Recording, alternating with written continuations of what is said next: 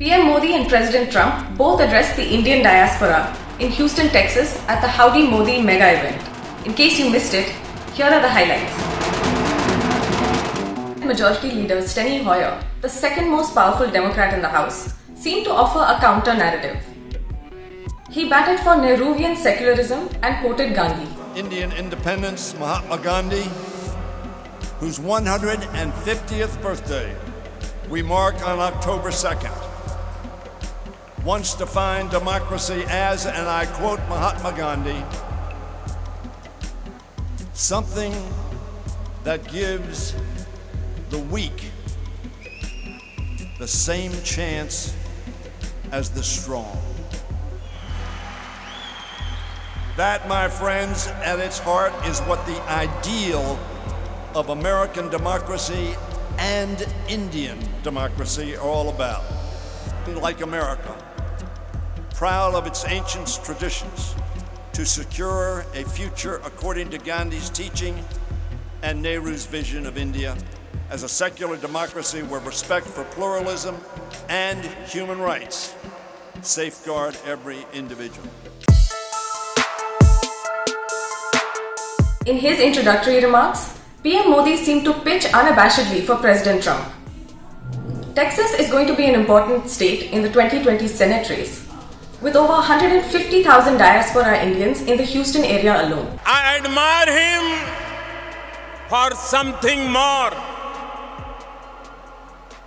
a sense of leadership, a passion for America, a concern for every American,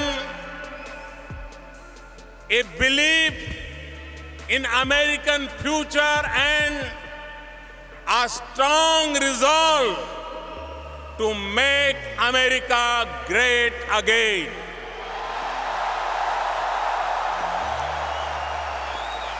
And he has already made the American economy strong again.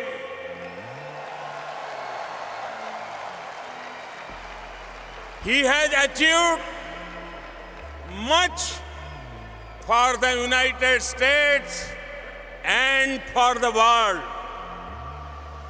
Friends, we in India have connected well with President Trump. The words, the words of candidate Trump, अब की बार Trump सरकार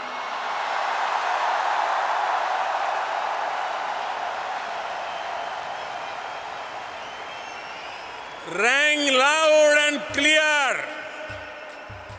And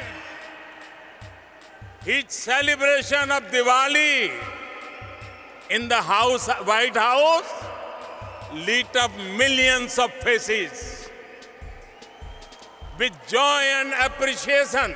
PM Modi also pitched for linguistic diversity, responding to the question Howdy Modi in a number of different Indian languages. This comes on the heels of a controversy in India over Hindi imposition. और इसलिए जब आपने पूछा है howdy Modi तो मेरा तो मन कहता है उसका जवाब यही है भारत में सब अच्छा है सब चंगासी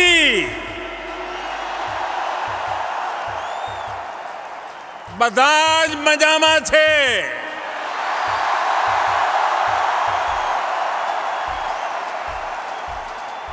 અંતા બાગુંદી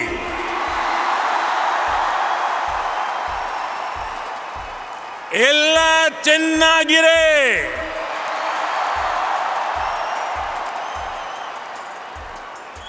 எல்லாம் சௌக்கியம்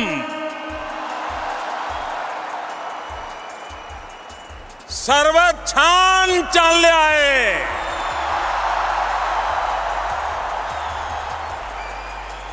সব খুব ভালো সবু बल्ला अच्छी Modi also threw a barb at Pakistan just days before he is due to speak at the UNGA, where Pakistan will also speak, In the middle of a diplomatic row over India's abrogation of Article 370. America में 9/11 हो या मुंबई में 26/11 हो उसके साजिशकर्ता कहाँ पाए जाते हैं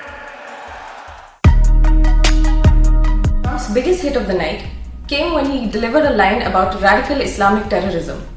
A line that drew cheers and a standing ovation from both the crowd and from PM Modi himself. We are committed to protecting innocent civilians from the threat of radical Islamic terrorism.